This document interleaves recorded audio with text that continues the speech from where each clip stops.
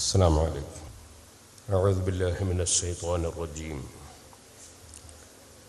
بسم الله الرحمن الرحيم. الحمد لله رب العالمين. نشهد أن لا إله إلا الله. ونشهد أن محمدا عبده ورسوله. اللهم صل وسلم وبارك على رسولك وحبيبك سيدنا محمد وعلى آل وأصحاب سيدنا ومولانا محمد وعلى جميع الأنبياء والمرسلين ومن اقتدى بهديهم إلى يوم الدين أما بعد. فأعوذ بالله من الشيطان الرجيم. بسم الله الرحمن الرحيم. يا أيها الذين آمنوا اتقوا الله وقولوا يا أيها الذين آمنوا اتقوا الله صدق الله العلي العظيم صدق وبلغ رسوله النبي الكريم ونحن على ذلك من الشاهدين الشاكرين والحمد لله رب العالمين ആദരണീയരായ നേതാക്കൾ പ്രിയപ്പെട്ട വിദ്യാർത്ഥികൾ ബന്ധനങ്ങളില്ലാത്ത ബന്ധങ്ങൾ എന്നാണ് വിഷയം നൽകിയിട്ടുള്ളത്. നമ്മൾ എല്ലാവരും സ്വതന്ത്രരാണ്. നമുക്ക് ഒരു ബന്ധനങ്ങളും ഇല്ല. നമ്മൾ വളരെ സ്വതന്ത്രരാണ്. കാരണം നമ്മളെല്ലാം അടിമകളാണ്. അടിമകളെല്ലാവരും സ്വതന്ത്രരായിരിക്കുമല്ലോ. കാരുടെ ആരുടെ അടിമകൾ വേറെ ഏതെങ്കിലും വ്യക്തികളുടെ നമ്മെപ്പോലെയുള്ള ഒരാളുടെ അടിമയല്ല. നമ്മൾ ലോകസത്താവായ അള്ളാഹുവിന്റെ അടിമകളാണ്. അതുകൊണ്ട് തന്നെ നമ്മുടെ ഏറ്റവും വലിയ ബന്ധം അള്ളാഹുവിനോടാണ്. അള്ളാഹുവുമായി ബന്ധപ്പെടുന്ന മനസ്സുള്ള ഒരു മനുഷ്യന് എവിടെയും ഒരു പ്രയാസവും ഇല്ല. യുരീദുല്ലാഹു ബിക്കുമൽ യുസ്റ വലാ യുരീദ് ബിക്കുമൽ ഉസർ. അള്ളാഹു നിങ്ങൾക്ക് എളുപ്പം മാത്രമേ ഉദ്ദേശിക്കുന്നുള്ളൂ പ്രയാസം ഉദ്ദേശിക്കുന്നില്ല എന്ന് ഖുർആൻ പറഞ്ഞിട്ടുണ്ട്.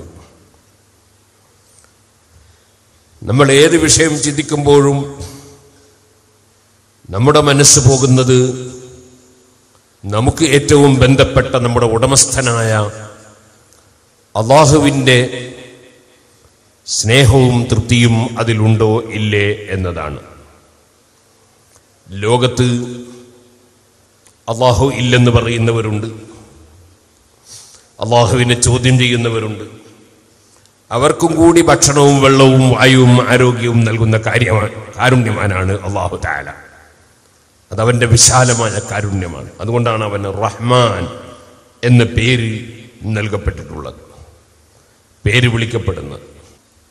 എനിക്ക് പരിപൂർണ സ്വാതന്ത്ര്യമാണ് എനിക്ക് സൃഷ്ടാവിനോട് യാതൊരു ബന്ധവും പുലർത്തേണ്ടതില്ല. സൃഷ്ടാവിനോട് കടപ്പാടില്ല എന്ന് വാദിക്കുന്നവർ ലോകത്തുണ്ട്. പക്ഷേ അങ്ങനെ ഒരു സ്വാതന്ത്ര്യം തെളിയിക്കാൻ അവന്റെ ജീവിതത്തിൽ ഒരിക്കലും അവന് കഴിയില്ല. അത്രയും പൂർണമായ സ്വാതന്ത്ര്യമുണ്ടായിരുന്നുവെങ്കിൽ അവന്റെ വയറ്റിൽ വേദനയുണ്ടാകുമ്പോൾ തടയാൻ അവന് കഴിയണം. അവന്റെ മുട്ടുവേദന അത് വരാതിരിക്കാൻ അവന് തീരുമാനമെടുക്കാൻ സാധിക്കണം. തലവേദന വരുമ്പോൾ സ്റ്റേ ചെയ്യാനോ വീറ്റോ ചെയ്യാനോ കഴിയണം. വലിയ വലിയ രോഗങ്ങൾ വരുമ്പോൾ അത് ചെറുതാക്കി മാറ്റാനെങ്കിലും സാധിക്കണം. ഇനി അവന്റെ സ്വന്തം ജീവിതത്തിൽ വരുന്ന വിചാരവികാരങ്ങളെ അവന് നിയന്ത്രിക്കാൻ സാധിക്കണം. അല്ലെങ്കിൽ അവന് വിധേയപ്പെട്ടുകൊണ്ട് കൊണ്ടുപോകാൻ കഴിയണം. വാസ്തവത്തിൽ അതിനൊന്നിനും കഴിയാത്തവനാണ് ഈ ദുർബലനായ മനുഷ്യൻ.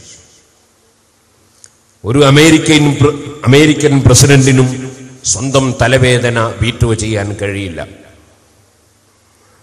സ്വന്തം മാനസികമായ ദുഃഖങ്ങളെ സന്തോഷകരമാക്കി മാറ്റാൻ കഴിയില്ല. സന്തോഷങ്ങളെ ദുഃഖമാക്കി മാറ്റാനും കഴിയില്ല. മനുഷ്യൻ അവൻ ദുർബലനായി തന്നെ നിലന്നുകൊണ്ടേയിരിക്കും ഇപ്പോൾ ചിലർ ശാസ്ത്രമാണ് ദൈവം എന്ന് പറയുന്നവരുണ്ട്. അങ്ങനെ ശാസ്ത്രം എന്ന് പറയുന്നത് ദൈവമാണെങ്കിൽ ശാസ്ത്രവുമായി ബന്ധപ്പെട്ടവർക്ക് സ്വന്തം മരിക്കാതിരിക്കാൻ തീരുമാനമെടുക്കാമായിരുന്നു. എന്തുകൊണ്ട് അവർക്കതിന് കഴിയുന്നില്ല? ഞാൻ മരിക്കുന്നില്ലെന്ന് തീരുമാനിക്കാൻ എന്തുകൊണ്ട് കഴിയുന്നില്ല? ദൈവം ശാസ്ത്രമാണല്ലോ. അല്ലെങ്കിൽ എനിക്ക് ആൺകുട്ടി ജനിക്കണം അല്ലെങ്കിൽ പെൺകുട്ടി ജനിക്കണം എന്നിങ്ങനെ എന്തുകൊണ്ട് അവന് തീരുമാനമെടുക്കാൻ കഴിയുന്നില്ല? അങ്ങനെ പലതും. എന്തുകൊണ്ട് തീരുമാനിക്കാൻ അവന് കഴിയുന്നില്ല? ലോകസഠാവായ അള്ളാഹുവിന്റെ അടിമയാണ് ഞാൻ എന്ന് വിശ്വസിക്കുന്നതോടുകൂടി മനുഷ്യൻ സ്വതന്ത്രനാവുകയാണ്. അവന് ബന്ധനങ്ങളൊന്നുമില്ല. അവന് ബന്ധങ്ങളുണ്ട്. അവന്റെ ബന്ധം ഏറ്റവും വലിയ ബന്ധം ലോകസഠാവായ അള്ളാഹുവുമായിട്ടാണ് ആ സഠാവിനെ സ്നേഹിക്കുകയും അനുസരിക്കുകയും ചെയ്തുകൊണ്ടാണ് ബുദ്ധിയുള്ള മനുഷ്യന്റെ ജീവിതം. അങ്ങനെ വരുമ്പോൾ അവന്റെ ജീവിതമെല്ലാം ചിട്ടയുള്ള ജീവിതമാണ്. അവനൊരിക്കലും മൃഗതുല്യനാവൂല. മൃഗങ്ങൾക്ക് ബന്ധങ്ങളില്ല. ബന്ധങ്ങളില്ലാത്തത് കൊണ്ട് തന്നെയാണ്. നന്ദിബോധമില്ലാത്തതും ബന്ധങ്ങളെ കീപ്പ് ചെയ്തുകൊണ്ട് അത് ജീവിക്കാത്തത്. വിശേഷബുദ്ധിയില്ല. വിശേഷബുദ്ധിയില്ലാത്തതിനാൽ ചിന്തിക്കാനുള്ള കഴിവുമില്ല. പക്ഷേ പലപ്പോഴും ചിന്താശക്തി നശിച്ചുപോയ മനുഷ്യൻ മൃഗത്തേക്കാൾ അതപ്പതിച്ചു പോകും. അങ്ങനെ അതപ്പതിക്കുന്ന ധാരാളം രംഗങ്ങൾ കണ്ടുകൊണ്ടിരിക്കുന്നവരാണ് നാം. നമ്മളതിൽ പെട്ടുപോകാൻ പാടില്ല. മഹാനായ മാലിക് മഹാനായ ഇബ്രാഹിമിനു അദ്ദേഹം റതിയല്ലാഹു അൻഹുവിന്റെ സമീപത്ത് ഒരാൾ വന്നു. ഞാൻ തെറ്റ് ചെയ്തു പോകുന്നു. അതിന് പരിഹാരമായി വല്ല വചനവും പറഞ്ഞു തരണം. മഹാനവറുകൾ പറഞ്ഞു ആറ് കാര്യം ഞാൻ പറയും. ആ ആറ് കാര്യം നീ ചിന്തിക്കുക. ആ ആറ് കാര്യം നിനക്ക് വ്യക്തമായ മറുപടി ഉണ്ടെങ്കിൽ തെറ്റ് ചെയ്യാൻ പെർമിഷൻ ലഭിക്കും. ഒന്നാമതായി നീ തെറ്റ് ചെയ്യാൻ ഉദ്ദേശിക്കുന്നുവെങ്കിൽ നീ ലോകസത്താവായ പടച്ചവന്റെ അധികാരത്തിൽ നിന്ന് പുറത്തുപോയി ചെയ്യുക. അദ്ദേഹം പറഞ്ഞു പടച്ചവന്റെ അധികാരമില്ലാത്ത ഏത് സ്ഥലമാ ലഭിക്കുക? അത് ശരി തസ്കുനു ഫീ മുൽക്കിഹി വ അവന്റെ അധികാരത്തിൽ നിന്നുകൊണ്ട് നീ അവനെതിരായി പ്രവർത്തിക്കുകയോ രണ്ടാമതായി പറഞ്ഞു നീ പഠിച്ചവനെതിരായി പ്രവർത്തിക്കുകയാണോ? അവനെ അനുസരിക്കാതിരിക്കുകയാണോ? എങ്കിൽ അവന്റെ ഭക്ഷണം നീ തേടരുത്. അവന്റെ ഭക്ഷണമല്ലാതെ ഞാൻ എവിടുന്ന് ഭക്ഷണം കഴിക്കും? അത് ശരി. തേക്കുലുമായ അവൻ നിനക്ക് തരുന്ന ഭക്ഷണവും കഴിച്ചിട്ട് അവനെതിരെ പ്രവർത്തിക്കുകയോ? അതെങ്ങനെ ഉചിതമാണോ ആ ശൈലി ആ രീതി? അവന്റെ ഭക്ഷണം കഴിക്കുക. വാസ്തവത്തിൽ ഭക്ഷണത്തെ സംബന്ധിച്ച് നിങ്ങൾ ചിന്തിച്ചിട്ടുണ്ടോ എന്ന് എനിക്കറിയില്ല. നിങ്ങളിൽ പലരും നല്ല ഉണർവിലുള്ളവർ. അവർ ഭക്ഷണത്തെ സംബന്ധിച്ച് ചിന്തിക്കൂല. അവർ ക്ലാസ്സാണ് ചിന്തിക്കുക ഉറങ്ങുന്നവരെ സംബന്ധിച്ചിടത്തോളം പലതും സ്വപ്നം കാണാം. എല്ലാവരും എഴുന്നേറ്റ് ഒരു സലാത്ത് ചൊല്ലണം സലാത്തുൻ അലാ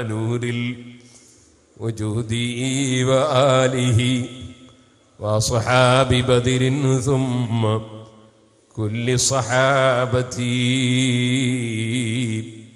ഞാൻ ഒരുപാട് മൃഗങ്ങളെ എന്റെ ജീവിതത്തിൽ കണ്ടു. ധാരാളം പശുക്കളെയും ആടുകളെയും കോഴികളെയും കണ്ടു. അതൊന്നും പകൽ സമയത്ത് ഉറങ്ങുന്നത് കാണാറില്ല. അവകളെല്ലാം ഉറങ്ങേണ്ട സമയത്ത് കൃത്യമായി ഉറങ്ങും. പണിയെടുക്കേണ്ട സമയത്ത് പണിയെടുക്കും. നിങ്ങളൊക്കെ നല്ല ഉണർവുള്ള ചെറുപ്പക്കാരാണ് എന്ന് ഞാൻ മനസ്സിലാക്കുന്നു. തീരെ ചെറിയ മക്കളുമല്ല പ്രായമുള്ള വയസ്സന്മാരുമല്ല. അതുകൊണ്ട് ഏതായാലും ഈ സമയം ഉറങ്ങൂല എന്ന് ഞാൻ വിചാരിക്കുകയാണ്. അല്ലെങ്കിൽ പിന്നെ നിങ്ങളുടെയൊക്കെ രോമത്തിന്റെ കളറ് മാറ്റേണ്ടി വരും എന്ന് ഞാൻ ആലോചിക്കുകയാണ്. എല്ലാവരും ഇരുന്ന് പറയും. ഭക്ഷണത്തിന്റെ രുചി. പഞ്ചസാരക്ക് മധുരമുണ്ടെന്നാണ് ആളുകൾ പറയുന്നത്. എന്റെ ഭാഷയിൽ പഞ്ചസാരക്ക് മധുരമില്ല. തീക്ക് ചൂടുണ്ടെന്നാണ് ജനങ്ങൾ പറയുന്നത്. ഞാനത് അംഗീകരിക്കുന്നു. കാരണം തീ കയ്യിൽ വെച്ചാൽ ചൂട് അനുഭവിക്കുന്നു തലയിൽ വെച്ചാലും അനുഭവിക്കുന്നു വായിൽ വെച്ചാലും അനുഭവിക്കുന്നു. തീക്ക് ചൂടുണ്ട് എന്ന് ഉറപ്പാണ്. പഞ്ചസാര എങ്ങനെയല്ല? അത് കയ്യിൽ വെച്ചപ്പോൾ മതിർക്കുന്നില്ല. പഞ്ചസാരക്ക് മധുരമില്ല എന്ന് ഉറച്ചില്ലേ? തീ പോലെയല്ലല്ലോ. എന്നാൽ പിന്നെ മധുരം അനുഭവിക്കുന്നുണ്ടല്ലോ. അത് വായിലിടുമ്പോഴാണ്. ഇപ്പം മധുരം വായക്കാണോ അല്ല പഞ്ചസാരക്കാണോ?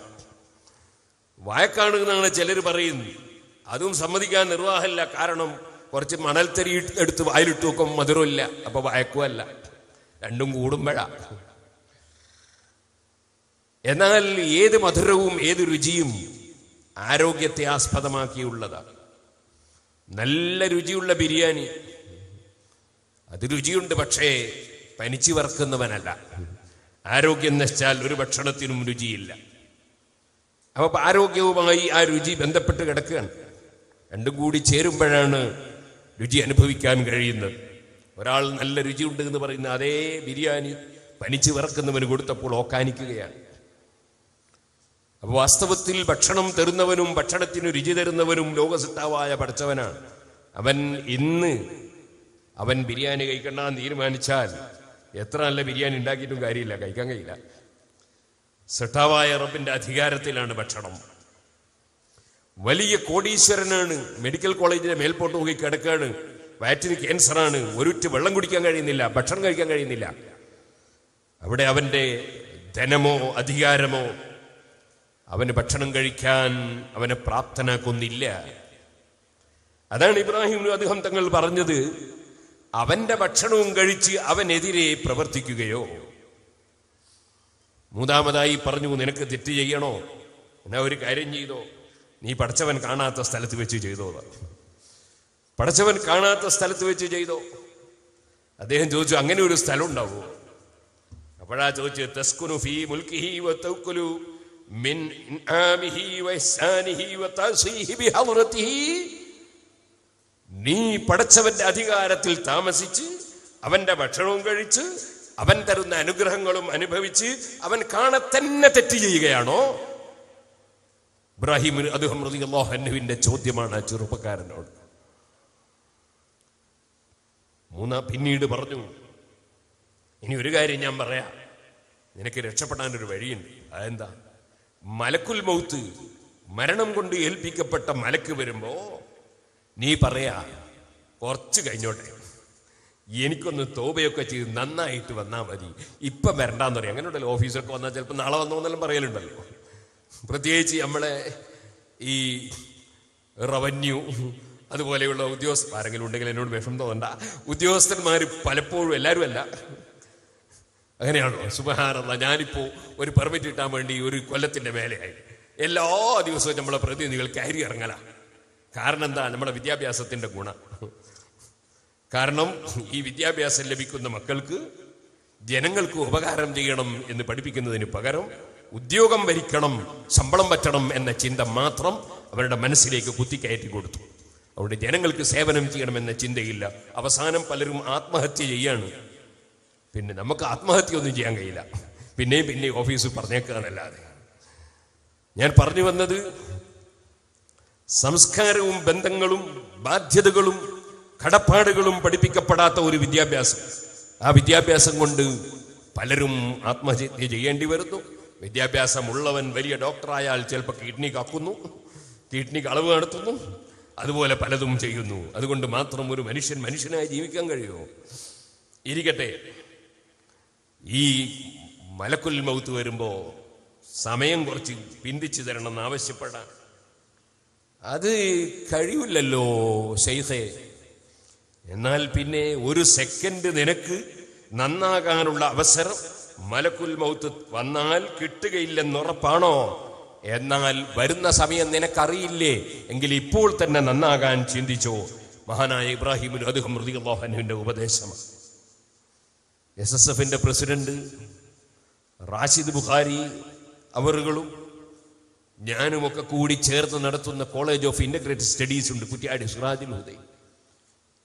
അവിടെ ഡിഗ്രി ഫൈനൽ വിദ്യാർത്ഥികളായ രണ്ട് മക്കൾ അവർ അവരുടെ പഠനാവശ്യത്തിന് വേണ്ടിയുള്ള യാത്രക്കിടയിൽ തിരൂരിൽ വെച്ച് ആക്സിഡന്റിൽ മരിച്ചുപോയി. വീട്ടിൽ അള്ളാഹു അവരെ സുഹൃതാക്കളിൽ പെടുത്തട്ടെ. വീട്ടിൽ നിന്ന് ഇറങ്ങി പോകുന്ന സമയത്ത് അവർ മരണം മുന്നിൽ കാണാൻ യാതൊരു സാധ്യതയും ഇല്ല. പ്രായത്തിന്റെ പരിധിയില്ല നേരത്തെ മുന്നറിയിപ്പില്ല. ഏത് സമയത്തും മനുഷ്യന് മരണം സംഭവിക്കാം? മലക്കുൽ മൗത്തിനോട് പിന്നീടാകാമെന്ന് പറയാൻ വകുപ്പില്ല.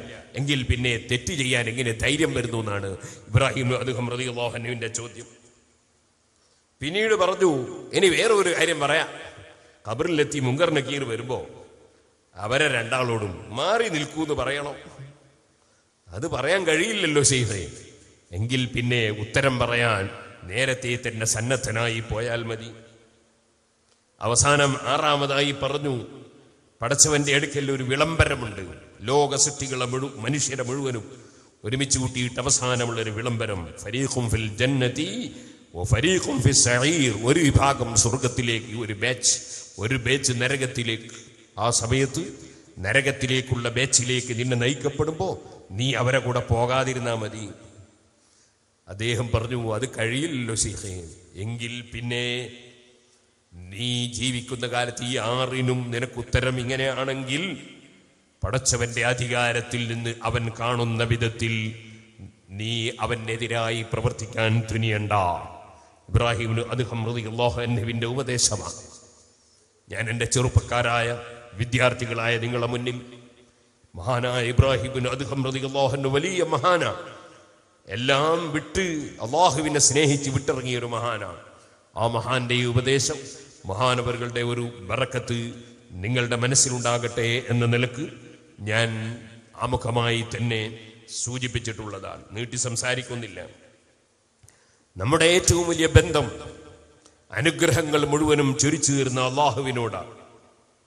അള്ളാഹുവിനെ അനുസരിച്ചുകൊണ്ട് ജീവിക്കാൻ നാം സന്നദ്ധരാകണം രണ്ടാമതായി നമുക്ക് അതേ സമയത്ത് തന്നെ ബന്ധമുള്ളത് സർവ അനുഗ്രഹത്തിന്റെയും നിമിത്തമായ വമാ സർവനന്മയുടെയും നിമിത്തമായ മഹാനായ മുഹമ്മദ് വസല്ലം തങ്ങളോട്. ആ പൊട്ടി തെറിച്ചിട്ടുണ്ട് കാലിൽ നിന്ന് രക്തം പൊട്ടി ഒലിച്ചിട്ടുണ്ട് കയ്യിന്റെ വിരലിന് മുറിവേറ്റിട്ടുണ്ട്. അങ്ങനെ ഒരുപാട് ത്യാഗം സഹിക്കേണ്ടി വന്നിട്ടുണ്ട്. എന്തിനായിരുന്നു? വീട്ടിൽ അരി വാങ്ങാൻ വേണ്ടിയല്ല കുടുംബം പോറ്റാൻ വേണ്ടിയല്ല.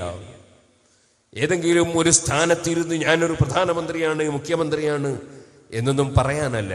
മറിച്ച് എന്നെയും നിങ്ങളെയും സ്വർഗത്തിലേക്ക് നയിക്കാനോ ലോക ജനങ്ങളെ സന്മാർഗത്തിലേക്ക് നയിക്കാനോ ആ മുഹമ്മദ് നബി സല്ലാഹു അലൈഹി വസല്ലം തങ്ങൾ പഠിപ്പിച്ചു തന്ന വെളിച്ചത്തിൽ ജീവിക്കുന്ന നാം ഏറ്റവും വലിയ ബന്ധം നമുക്കുള്ളത് അന്നബിയു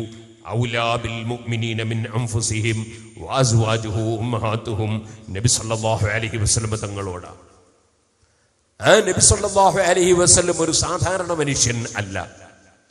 സാധാരണ മനുഷ്യന് ജിബിരിൽ അലഹി ഇസ്ലാമിനെ കാണാൻ കഴിയില്ല. ജിബിരിൽ അലഹി ഇസ്ലാമുമായി സംവദിക്കാൻ കഴിയില്ല. ശബ്ദം കേൾക്കാൻ കഴിയില്ല. ആ അസാധാരണ മനുഷ്യനായ മുഹമ്മദ് നബി സല്ലല്ലാഹു അലൈഹി വസല്ലം അവിടുന്ന് എന്നും റസൂലാണ്. എന്നും റസൂലാണ്. എല്ലാവർക്കും റസൂലാണ്.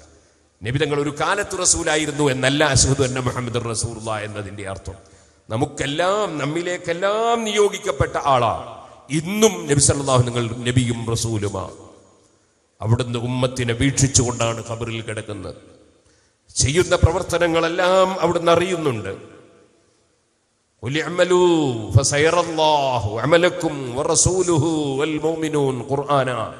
നിങ്ങൾ പ്രവർത്തിച്ചോളൂ നിങ്ങളെ പ്രവർത്തനം അള്ളാഹു കാണുന്നുണ്ട്. അള്ളാഹുവിന്റെ റസൂൽ കാണുന്നുണ്ട്.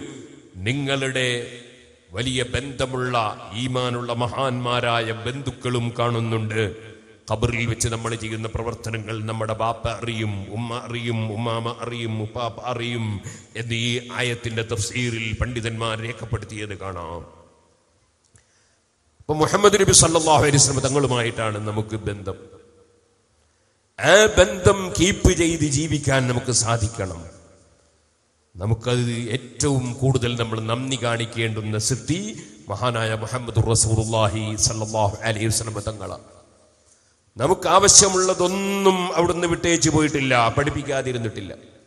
നമുക്ക് തകരാറ് വരുന്ന ഒരു വിഷയവും അവിടുന്ന് വിരോധിക്കാതിരുന്നിട്ടില്ല. അവസാനം ഉറങ്ങുന്ന സമയത്ത് തിരിവിളക്ക് കത്തിച്ച് ജീവിക്കുന്ന കാലമായിരുന്നു അന്ന്. നിങ്ങൾ തിരിവിളക്ക് കെടുത്തിയിട്ടല്ലാതെ ഉറങ്ങരുത് എന്ന് വരെ നബി സല്ലല്ലാഹു അലൈഹി ഉപദേശിച്ചിട്ടുണ്ട്. ഇന്നത്തെ ഭാഷയിൽ പറഞ്ഞാൽ ഗ്യാസ് അടുപ്പുള്ള വീടുകളിൽ ആ ഗ്യാസ് ശരിക്കും ഓഫാക്കിയിട്ടല്ലാതെ കിടന്നുറങ്ങരുത് എന്നതിൽ നിന്ന് മനസ്സിലാക്കാൻ സാധിക്കും.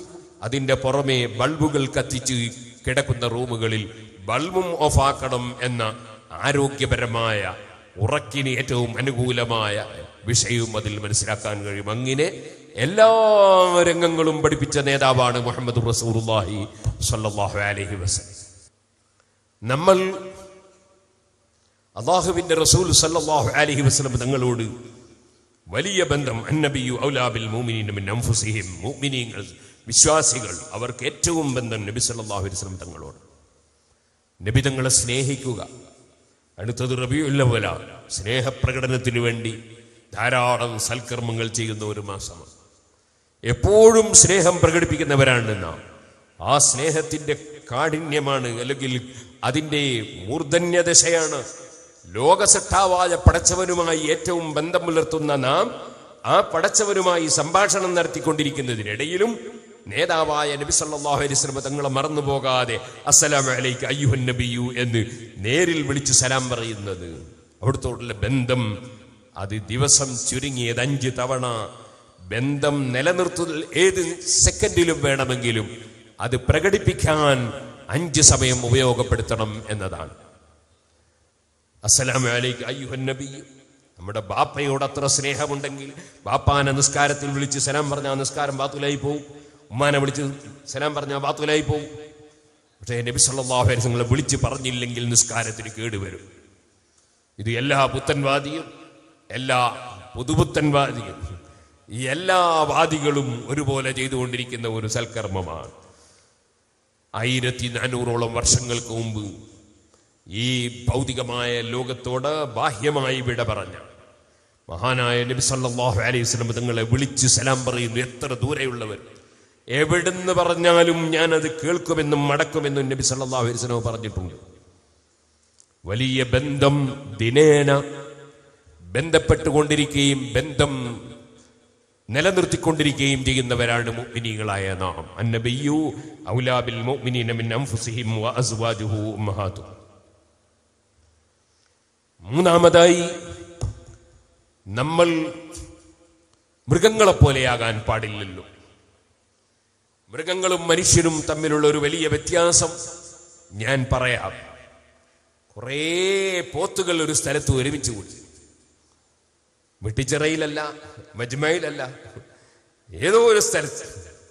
എല്ലാരോടും പറഞ്ഞു പോത്തുകളോട് എല്ലാവരും എഴുന്നേറ്റ് നിൽക്കണം സ്റ്റാൻഡപ്പ് ഒരൊറ്റ പോത്തും കിടക്കുന്ന പോത്ത് എഴുന്നേറ്റ് നിൽക്കൂല.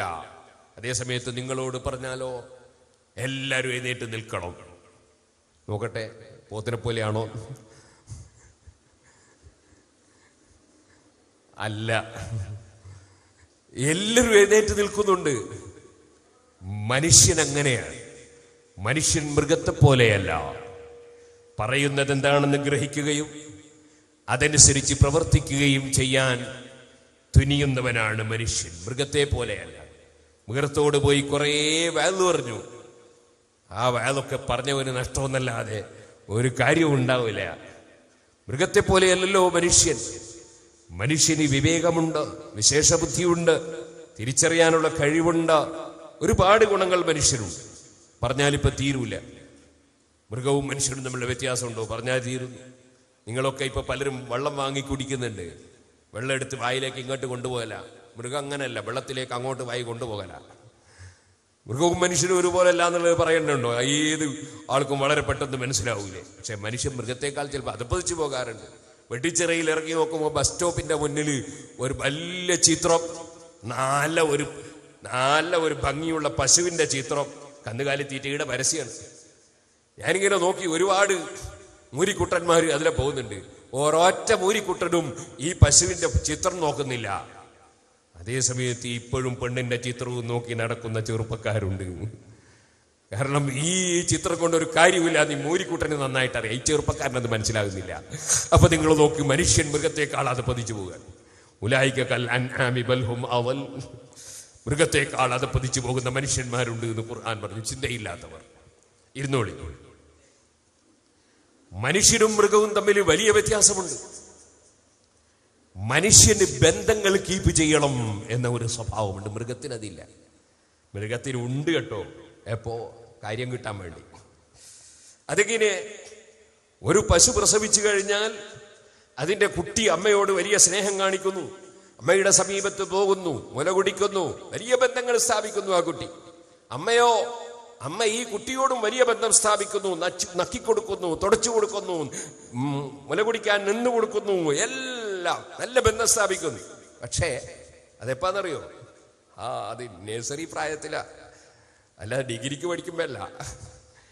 അതുപോലെ എഞ്ചിനീയറിംഗിനും അതുപോലെ മെഡിസിനും പഠിക്കുന്ന ആ കാലത്തല്ല. പിന്നെ ഇപ്പോ ചെറിയ കുട്ടിക്കാലത്ത്. ആ അപ്പൊ ഉമ്മ കുളിപ്പിച്ച് കുപ്പായിട്ട് തരണം. ഉമ്മ മുലകെടുക്കണം ഉമ്മ വാരി കൊടുക്കണം അന്ന് കുട്ടിക്ക് വലിയ സ്നേഹം. അതേപോലെ ഉമ്മാക്ക് ഇങ്ങോട്ടും വലിയ സ്നേഹം. ഇതുപോലെ പശുക്കുട്ടിക്കും ഉണ്ട് പ്രസവിച്ച ഉടനെ നക്കി തുടക്കുന്നുണ്ട് അതേപോലെ തന്നെ തിരിച്ച് അമ്മയുടെ മുലക്കൂൽ പോകുന്നുണ്ട്. അമ്മയുമായി വലിയ ബന്ധമുണ്ട്. അമ്മ പോകുമ്പോൾ പിന്നാലെ പോകുന്നുണ്ട്. അമ്മേനെ അനുസരിക്കുന്നുണ്ട്. അതൊക്കെ കുട്ടിക്കാലത്തുണ്ട്. കുറച്ച് കഴിഞ്ഞാലോ? കുറച്ച് കഴിഞ്ഞാലോ? പ്രായപൂർത്തിയൊക്കെ എത്തിക്കഴിഞ്ഞാലോ ഈ കുട്ടി മകനാണെങ്കിൽ അഥവാ മൂരിക്കുട്ടനാണെങ്കിൽ സ്വന്തം അമ്മയെ പീഡിപ്പിക്കാൻ ശ്രമിക്കുന്നു. അമ്മയുടെ പുറത്ത് ഓടിക്കേറാൻ ശ്രമിക്കുന്നു. അമ്മയോ ചിലപ്പോൾ അതിന് വിധേയമായി നിന്നു കൊടുക്കുന്നു. ചിലപ്പോഴോ തൊഴുത്തിൽ വെച്ച് തന്നെ പരസ്പരം കൂത്തുന്നു. സുഭാനന്ദ എന്തേ കാരണം? പ്രായം കൂടുന്നതിനനുസരിച്ച് ബന്ധം തീരെ പോയി പോയി. ഇത് മൃഗത്തിന്റെ സ്വഭാവമാണ്. ഈ സ്വഭാവം ഇപ്പോൾ പലപ്പോഴും മനുഷ്യരാകുന്ന യുവാക്കളിലും കണ്ടുവരുന്നു. നേരത്തെ ഉമ്മ പറയും പോലെയായിരുന്നു. ഇപ്പൊ ഉമ്മാൻ അനുസരിക്കുന്നില്ല. പറ ബാപ്പ പറയും പോലെയായിരുന്നു. ഇപ്പൊ ബാപ്പാൻ അനുസരിക്കുന്നില്ല. കാരണം ശരിക്കും മൃഗമാവുകയാണ്. മൃഗത്തിന്റെ സ്വഭാവം അങ്ങനെയാണ്. കുട്ടിക്കാലത്ത് നല്ല ബന്ധം. അച്ഛനും അമ്മയായിട്ടൊക്കെ അച്ഛനുമായിട്ട് ബന്ധം ഉണ്ടാകണ്ടോ എന്നറിയില്ല. അമ്മയായിട്ട് വലിയ ബന്ധം. അതേ സമയത്ത് പ്രായമാകുമ്പോൾ ബന്ധമൊക്കെ ഉലഞ്ഞു പോകുന്നു. മനുഷ്യൻ മൃഗമാവുകയാണ്. അങ്ങനെയാകാൻ പറ്റുമോ നമ്മൾ? നമ്മൾ അങ്ങനെയാകാൻ പറ്റില്ല. കാരണം നമുക്കൊരു നേതൃത്വമുണ്ട്. ചോദ്യം ചെയ്യപ്പെടാൻ പറ്റാത്തൊരു നേതൃത്വം. ആ നേതൃത്വം മഹാനായ മുഹമ്മദ് റസൂറുല്ലാഹി സല്ലല്ലാഹു അലഹി വസ്ല്ലമ തങ്ങളോ. അവിടുന്ന് നമുക്ക് ഖുർആൻ ഓതി പഠിപ്പിച്ചു തന്നിട്ടുണ്ട്. മാതാപിതാക്കളോട് നന്മ ചെയ്യുന്നവരാകണം.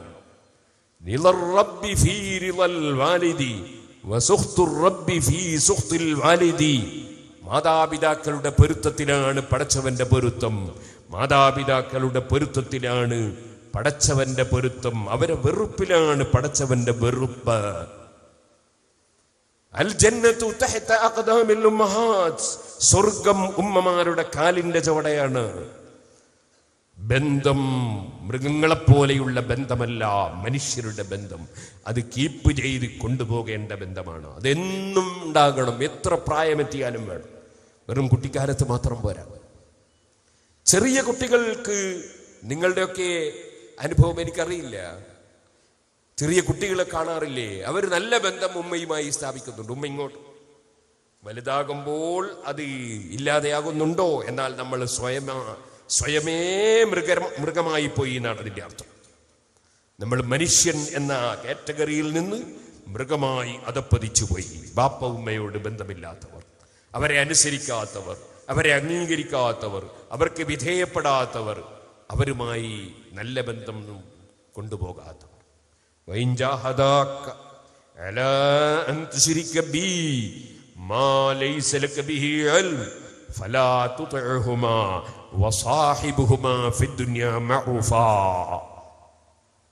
ഖുർആൻ പ്രത്യേകം പറഞ്ഞു മാതാപിതാക്കളുമായി നല്ല ബന്ധം വേണം. പക്ഷേ അവർ ലോകസട്ടാവായ പടച്ചവനെതിരായി. അവർ നിന്നോട് ഉപദേശിച്ചാൽ കൽപ്പിച്ചാൽ നീ അതനുസരിക്കേണ്ടതില്ല കാരണം പടച്ചവന്റെ മേലെയല്ല ഉപ്പയും ഉമ്മയും. പടച്ചവനേക്കാൾ വലിയൊരു ബാപ്പയും ഉമ്മയില്ല.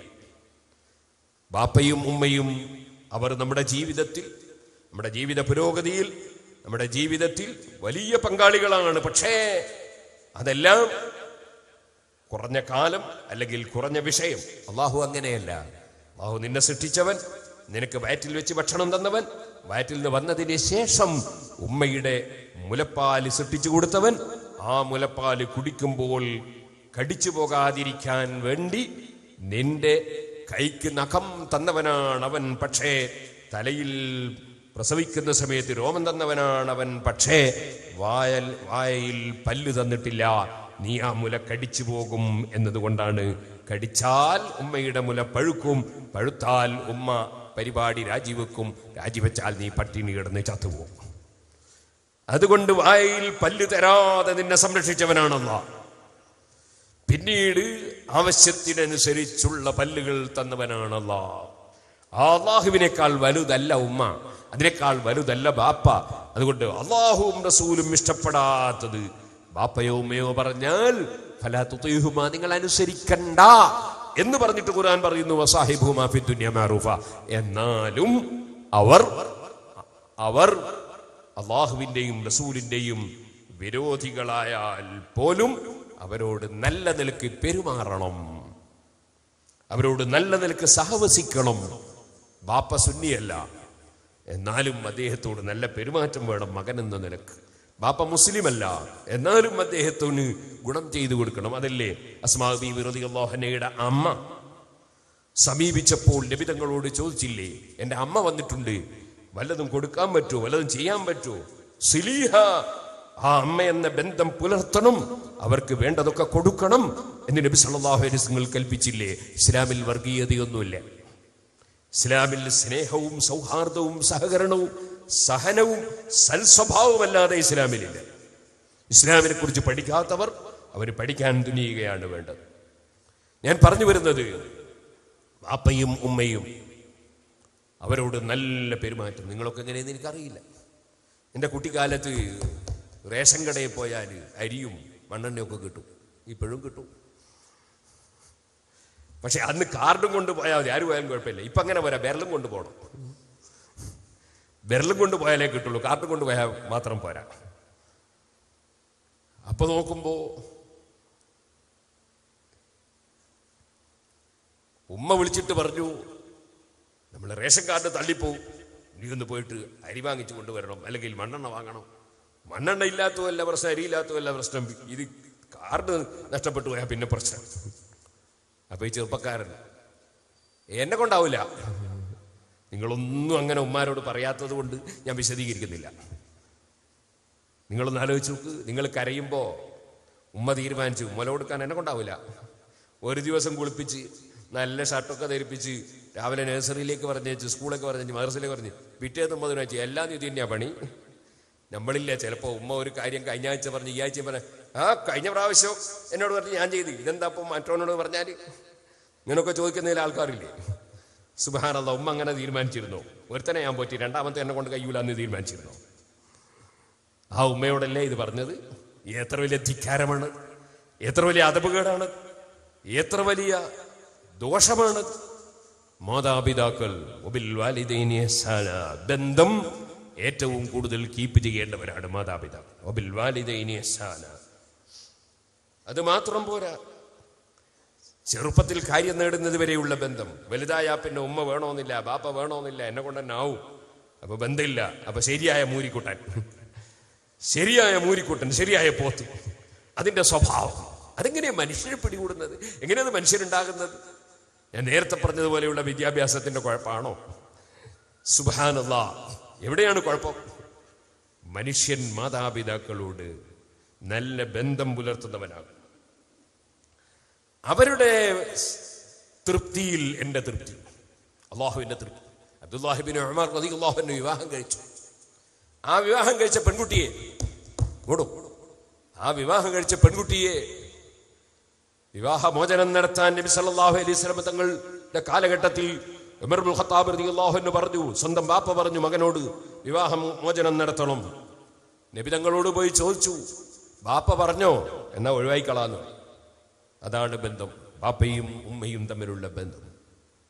വേറെ ഒരാൾ വന്ന് പറഞ്ഞു നബിയെ ഞാൻ സമ്പാദിച്ചുണ്ടാക്കിയ പണം അത് ബാപ്പ കൈകാര്യം ചെയ്യുന്നു.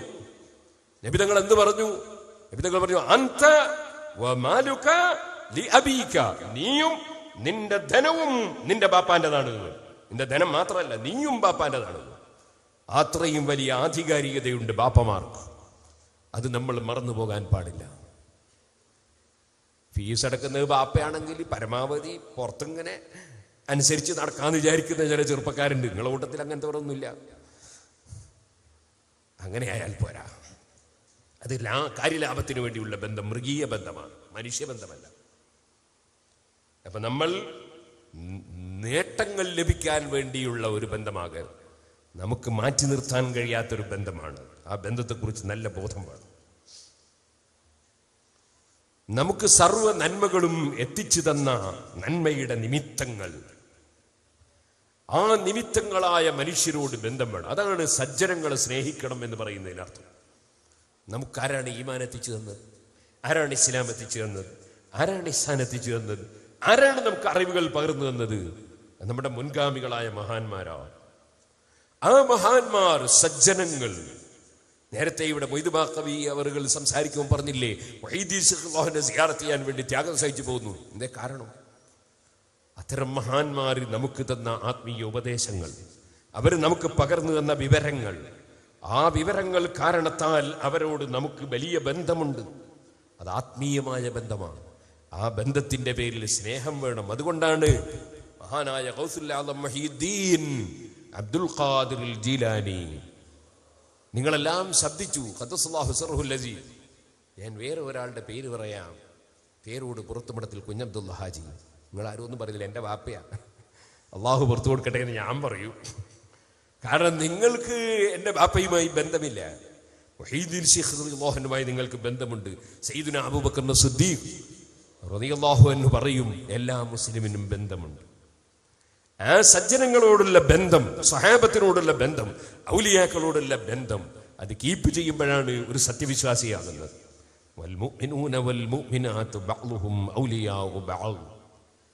എല്ലാ സത്യവിശ്വാസികളും പരസ്പരം സത്യവിശ്വാസികൾ എന്ന നിലയ്ക്ക് ബന്ധമുള്ളവരാണ് ആ ബന്ധം കൊണ്ടാണ് അസ്സലാം അലൈന വഅലാ ഇബാദില്ലാഹി സ്വാലിഹീൻ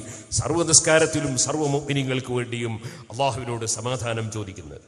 ബന്ധം സജ്ജനങ്ങൾക്കിടയിൽ മോമിനിയങ്ങൾക്കിടയിലുള്ള ബന്ധം അത് കീപ്പ് ചെയ്ത് മുന്നോട്ട് പോകണം. ഒരു മോമിനും ഒരു കുഴപ്പമുണ്ടാകണമെന്ന് ചിന്തിക്കരുത്. ഒരു മോമിനും പരാജയപ്പെടണമെന്ന് ആലോചിക്കരുത്. പ്രസംഗിച്ചു കൊണ്ടിരിക്കുമ്പോൾ ഒരുപാട് കല്ലേറുകൾ എന്റെ സ്റ്റേജിലേക്ക് വന്നത് എനിക്ക് ഓർമ്മയുണ്ട്. മുട്ട കയറി വന്നതും ഓർമ്മയുണ്ട്. മുട്ട പൊട്ടിയിട്ട് ഇങ്ങനെ ഒലിക്കുന്നതും ഞാൻ കണ്ടിട്ടുണ്ട്. കല്ലേറുകൾ വന്ന് വീഴുന്നതും കണ്ടിട്ടുണ്ട്. എന്റെ സദസ്സിലുള്ളവർക്ക് തലക്ക് കല്ലേറ് കൊണ്ട് പരിക്ക് പറ്റി രക്തം മേൽപോട്ട് പമ്പ് ചെയ്യുന്നത് ഞാൻ കണ്ടിട്ടുണ്ട്. എന്റെ ജീവിതത്തിൽ ഒരിക്കലും എന്റെ ശരീരത്തിൽ ഏറ് കിട്ടിയിട്ടില്ല. പഠിച്ചവൻ കാക്കട്ടെ എല്ലാവരെയും വന്ന കാക്കട്ടെ. ഞാൻ പറഞ്ഞു വരുന്നത് മറ്റൊരു കാര്യം പറയാനാണ് മറ്റൊരു വിഷയം പറയാനാണ് അങ്ങനെയെല്ലാം കല്ലെറിഞ്ഞവർ ശകാരിച്ചവർ ചീത്ത വിളിച്ചവർ അവരെല്ലാം രക്ഷപ്പെടണം എന്ന് നമുക്ക് ചിന്തിക്കാൻ കഴിയണം. അതെങ്ങനെ? അവർ രക്ഷപ്പെടണമെന്നിരിക്കുക അവരൊക്കെ എവിടെങ്കിലും ആക്സിഡന്റ് ആയിട്ടെങ്കിൽ യാസീൻ അങ്ങനല്ല. പിന്നെ അവരും തെറ്റിദ്ധരിച്ച തെറ്റിദ്ധരിച്ചു പോയ അറിവില്ലാത്ത ജനങ്ങളാണ്. അവരെ നന്നാക്കിയെടുക്കുക എന്നതാണ് നമ്മുടെ ലക്ഷ്യം. ആ ലക്ഷ്യത്തിന് വേണ്ടി പ്രവർത്തിക്കുമ്പോൾ അവർ നമ്മെ തെറ്റിദ്ധരിച്ച് പലതും ചെയ്യുന്നു. ഏതുപോലെ? ഏതുപോലെ? ഒരു ഉമ്മ നല്ല കയ്പുള്ള കഷായം കയ്പുള്ള മരുന്ന് കുട്ടിക്ക് കൊടുക്കുന്നു. കുട്ടിക്കത് ഇഷ്ടപ്പെടുന്നില്ല. കുട്ടി കാലുകൊണ്ട് ഉമ്മയെ ചവിട്ടുന്നു. മാന്തിപ്പറിക്കുന്നു. കടിക്കാൻ നോക്കുന്നു. കുട്ടിക്ക് വിവരമില്ലാഞ്ഞിട്ടാണ്. ഉമ്മ കൊടുക്കുന്നത് കുട്ടിയെ സ്നേഹിച്ചിട്ടാണ്. അതിന്റെ പേരിൽ ഉമ്മ തിരിച്ച് കടിക്കാമോ? ഉമ്മ തിരിച്ച് ആ കുട്ടിയെ മാന്താമോ? അല്ല പിന്നെ കുട്ടിക്ക് വിവരമില്ലാഞ്ഞിട്ടാണെന്ന് മനസ്സിലാക്കണം. ഇതുപോലെ നാം നമ്മുടെ ദീനി പ്രബോധന പ്രവർത്തനം നടത്തുമ്പോൾ കുറെ ആളുകൾ ചീത്ത പറയുന്നു കല്ലെറിയുന്നു എന്നതിന്റെ പേരിൽ അവരോട് വൈരാഗ്യം വെക്കാൻ പാടില്ല. അവർ വിവരമില്ലാത്തവരാണെന്ന നിലയ്ക്ക് അവർ നന്നാകാൻ വേണ്ടി പ്രാർത്ഥിക്കണം പ്രവർത്തിക്കണം. അവിടെയാണ് നമ്മുടെ ആത്മാർത്ഥത എന്ന് പറയുന്നത്. അവിടെയാണ് നമ്മുടെ ഇഖലാസ്. നേരെ മറിച്ച് അവർക്കെതിരെ പ്രാർത്ഥിക്കാൻ പാടില്ല. അവരെ മോശമായി ചിത്രീകരിക്കാൻ പാടില്ല അവരെ തിരിച്ച് കല്ലെറിയാൻ പാടില്ല. മൂമിനിയങ്ങൾ പരസ്പരം വലിയ ബന്ധമുള്ളവരാണ്. മുഹമ്മദ് നബി സല്ലാഹു അലൈഹി വസല്ലം തങ്ങളെ ഉമ്മത്തുകൾ മുഴുവനും രക്ഷപ്പെടണം എന്ന് ചിന്തിക്കണം. എല്ലാവരും രക്ഷപ്പെടണം. അതിന് എന്തെല്ലാം ചെയ്യാൻ കഴിയുമോ കഴിവിന്റെ പരമാവധി ചെയ്യാൻ നോക്കണം. അത് മോമിനിയങ്ങൾക്കിടയിലുള്ള ബന്ധമാണ്. അല്ലഹില്ലാഉ യൗമൈദിൻ بعضهم لبعض عدو ഇല്ലൽ മുത്തഖീൻ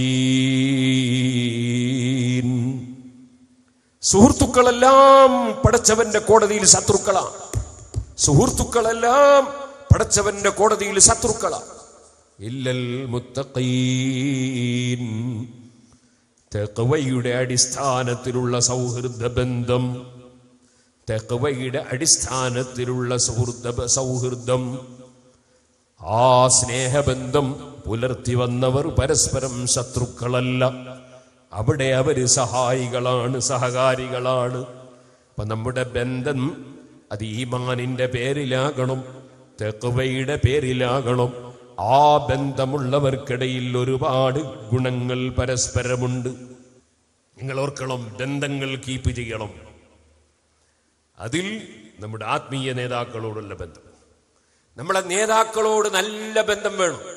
ചിലരുണ്ടല്ലോ നേതാക്കളെ മുന്നിലെത്തിയാൽ കൈപിടിച്ചിട്ട് അങ്ങനെയുണ്ട് മണക്കൽ പല സൈസും ഉണ്ട്. സുബഹാൻ അല്ലാ ഈ കർണാടകക്കാരെ മണക്കലുണ്ട്. തിരിച്ചും മറിച്ചു ഒരു നാല് പ്രാവശ്യം മണത്താലേ അവർക്ക് മതിയാവും ഇയാൾക്ക് തിരക്കുണ്ടെങ്കിൽ വെച്ചു കൊടുക്കല്ലാണ്ട് നിർവാഹം ഉണ്ടാവില്ല. മണത്തോണ്ട് ഈ മണക്കപ്പെടുന്നാക്ക് എന്തോ കിട്ടും ഒന്നും കിട്ടൂല. പക്ഷെ അയാളെ മനസ്സിൽ ഒരു കിബിറ് കിട്ടിയാൽ ലാഭം. ആൾക്കാർ കയ്യെല്ലാം പിടിച്ച് മണക്കുന്ന ഒരാളാണ് എന്നുള്ളൊരു കിബിറിവന് കിട്ടിയാൽ അവൻ നശിച്ചു. നേരെ മറിച്ച് അവന്റെ മൂക്കിന്റെ വർക്കത്തോട് ഞാൻ രക്ഷപ്പെട്ടു പോട്ടെ എന്ന് വിചാരിച്ചാൽ കുഴപ്പമില്ല. ഇരിക്കട്ടെ ഞാൻ പറഞ്ഞു വരുന്നത് മണക്കലൊക്കെ വളരെ ജോറാ. പക്ഷെ പുറത്തു പോയിട്ട് ഇങ്ങനെ കുറ്റം പറയും. അങ്ങനത്തെ ചിലരുണ്ട്.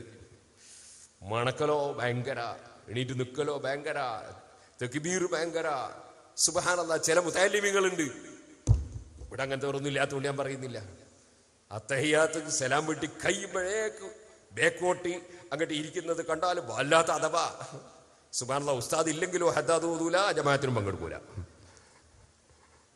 ഇതാണോ അതബ് ഈ ബേക്കോട്ടിരിക്കലാണോ അത് ഇന്നലെ ഒരുത്തനം ഞാൻ പിടിച്ച് മുന്നോട്ടിരുത്തി. കാരണം ബേക്കെന്ന് നിസ്കരിക്കുന്നുണ്ട് ആൾ. അത് നോക്കാണ്ട് മറ്റവന്റെ മുന്നിലേക്കാ പോയിരിക്കുന്നത് അത് കാണിച്ചതാണ്. അപ്പൊ അത് വേണ്ടാന്നൊന്നും അല്ല ഇപ്പൊ ഞാൻ പറഞ്ഞത്. ഞാൻ പറഞ്ഞ വിഷയം ഈ സോപ്പിടുന്ന കുറെ അതബുകളുണ്ട് സോപ്പിടുന്ന കുറെ പരിപാടികളുണ്ട്. അതിന് പകരം ആത്മാർത്ഥമാകണം. നേതാക്കളോടുള്ള സ്നേഹം. ഇബ്രാഹിം ഇബ്രാഹിമിന് അദ്ദേഹം റതി അള്ളാഹു അന്നവിനൊരു സ്വഭാവമുണ്ട്. പകൽ സമയത്ത് അധ്വാനിച്ച് പോയി പണിയെടുക്കും. എന്നിട്ട് കൊണ്ടുവന്നിട്ട് കൂടെയുള്ള കുട്ടികൾക്ക് കൂടെയുള്ള മുരീതന്മാർക്ക് ശിഷ്യന്മാർക്കൊക്കെ ഭക്ഷണം രാത്രിയിൽ മൂപ്പര് ഭക്ഷണം എല്ലാവർക്കും കൊടുക്കാൻ വേണ്ടി മൂപ്പര് അധ്വാനിച്ചു കൊണ്ടുവന്നും സാധനങ്ങളൊക്കെ വാങ്ങിക്കൊടുക്കും. ഒരു ദിവസം മൂപ്പര് കുറച്ച് പിന്തിപ്പോയി വരാന്. അങ്ങനെ ഉണ്ടല്ലോ നേതാക്കളോട് വെറുപ്പിടിക്കുന്നതിൽ അനുയായികളില്ലേ? എങ്ങനെയാ വെറുപ്പിടിക്കൽ ചിലപ്പോ പറഞ്ഞ നേരത്തെ എത്തിയില്ല. കാരണം നമ്മളെ റോഡല്ലേ. റോഡ് ഉണ്ടാക്കിയിട്ട് കാലം എത്രയായി? അന്നത്ര വാഹനം ഉണ്ടായിരുന്നു? ഇപ്പൊ എത്രയാ വാഹനം? റോഡ് എവിടെയാ മാറിയത്? റോഡ് വണ്ടയുള്ള തന്നെ ഒരു മാറ്റവും ഇല്ല മറ്റില്ലാതെ തുടരുകയാണ്. എല്ലാ മുഖ്യമന്ത്രിമാർക്കും എല്ലാ മന്ത്രിമാർക്കും തലയൊക്കെ നിരക്കുന്നുണ്ട്. നമ്മളെ റോട്ടിന് മാത്രം മാറ്റില്ല പ്രധാനമന്ത്രിക്കും മാറ്റമുണ്ട് എല്ലാവർക്കും മാറ്റമുണ്ട്. റോഡിന് മാറ്റില്ല പണ്ടേയുള്ള റോഡ് തന്നെ. വാഹനമോ വാഹനം റോഡ് ഉണ്ടാക്കുന്ന സമയത്ത് ആകെ ഒരു കാറ് ഒരു നാട്ടിൽ ഒരു ഒരു ജില്ലയിൽ അല്ലെങ്കിൽ ഒരു താലൂക്കിൽ ഇപ്പോഴോ ഇപ്പോൾ എല്ലാ വീട്ടിലും മൂന്ന് നാല് കാറ്. പിന്നെ എവിടെ ഓടിയാലെത്തുക? അതുകൊണ്ട് ദൂരെയുള്ളവരൊന്നും പരിപാടിക്ക് വിളിക്കരുത്. പറഞ്ഞു വരുന്നത് സമയം തീർത്ത് റോഡ് മക്കളയാണ് പറഞ്ഞു വരുന്ന വിഷയം എന്താണെന്ന് ചോദിച്ചാൽ അതൊന്നുമല്ല. നമ്മളെ സംബന്ധിച്ചിടത്തോളം നേതാവ് പിന്തിപ്പോയാൽ പ്രതിഷേധം വരും. ഇബ്രാഹിം അദ്ദേഹം റഹ്ലാൻ ഒരു ദിവസം വരാൻ കുറച്ചങ്ങ് വൈകിപ്പോയി. അപ്പൊ ഈ കൂട്ടാളികളായ ആളുകൾ എന്ത് തീരുമാനിച്ചതറിയോ ഇന്ന് നമ്മൾ വരാൻ വൈകിയില്ലേ? മുപ്പര് കുറെ ഒരു ഒമ്പത് മണിയാവും തോന്നുന്നു. മകരിവിന്റെ ശേഷം നമ്മൾ ഭക്ഷണം കഴിക്കില്ലേ? ഇയാൾ വരുന്നില്ലല്ലോ. തീർത്തും നമ്മളങ്ങ് തിന്ന. എന്നാലോ പിന്നെ നേരത്തെ വന്നോളൂ. നല്ല പരിപാടിയാവും. ഉസ്താദ് എത്തിയില്ലെങ്കിൽ ടിപ്പി പാത്ര പാത്രം അങ്ങനെ തന്നെ എന്ത് ചെയ്യുക? കാലിയാക്കളെ കുട്ടികൾ അങ്ങനെ ഒരു പരിപാടി ആസൂത്രണം ചെയ്തു. ഇബ്രാഹിം അദ്ദേഹം പ്രതികളാഹു എന്നു എന്ന ഗുരുവര്യർ കൂടെ കുട്ടികൾ കാണിച്ച ഒരു അഥവാ തീർത്തു തിന്നങ്ങ് തീർത്തു കഴിഞ്ഞു എല്ലാവരും കിടന്നുറങ്ങി മൂപ്പര് വരുമ്പോൾ എല്ലാവരും ഉറങ്ങിപ്പോയി.